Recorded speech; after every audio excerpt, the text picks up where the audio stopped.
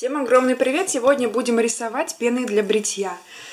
Нам понадобится пена для бритья, стаканчики и любой краситель. У меня будет гуашь. Так, добавляем сначала пену, немножко ее встряхиваем.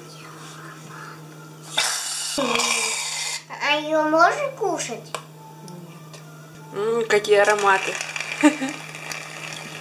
Все, хватит, хватит. Какой цвет тебе?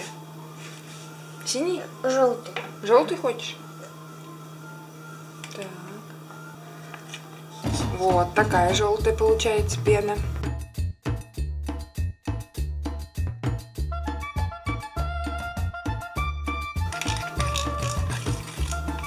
Как крем получается. Здорово, да?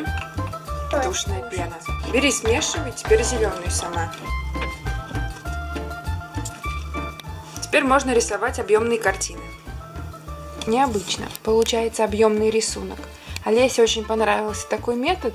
Можно рисовать кисточкой, пальчиком, палкой, ватной палочкой.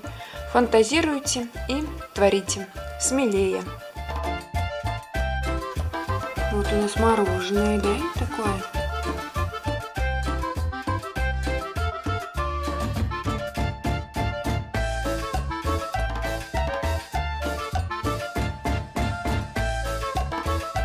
Так что вот так оказалось сделать такое очень просто и легко.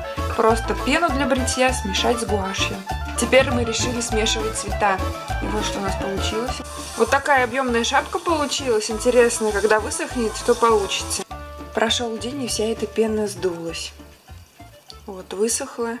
В итоге получилось изображение не объемное, а обычное. Сейчас рисуем подогретым пластилином из шприца. Раскатываем немного пластилина в колбаску, проталкиваем ее в шприц. Шприц лучше брать самый большой.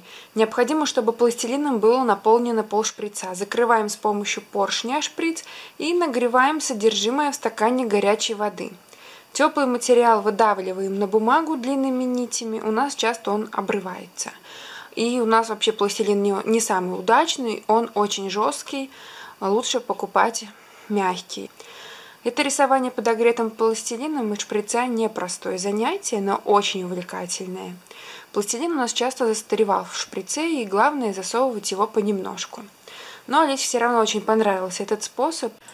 Недавно я создала группу ВКонтакте «Чем занять ребенка» и отдельный аккаунт в Инстаграме «Мамские идеи». Ссылки я оставлю под видео, присоединяйтесь. Там собраны идеи для развития деток, игр, занятия, поделки, развивашки.